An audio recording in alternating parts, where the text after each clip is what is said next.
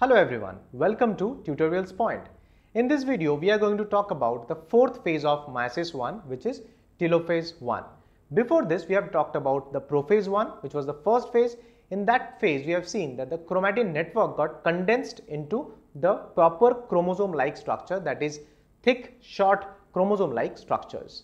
After that, it was followed by the metaphase where the homologous chromosomes which were paired in the case of the prophase, they got, gets aligned at the central or the equatorial position of the cell. That was followed by anaphase where the homologous pair got separated. Now after anaphase, it is followed by the stage called telophase 1.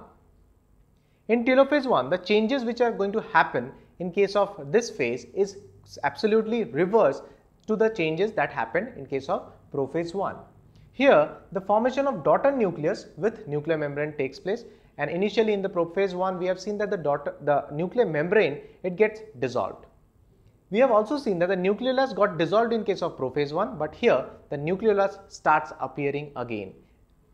The disappearance of the astral rays and the spindle fibers. The spindle fibers which were being formed at the stage of prophase 1 gets disappeared as you can see over here. Here you can see the nuclear membrane has also formed.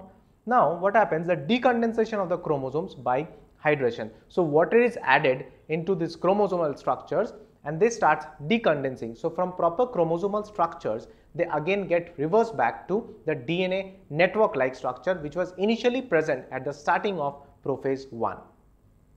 The chromosomes become long thread-like chromatin fibers as we have already discussed.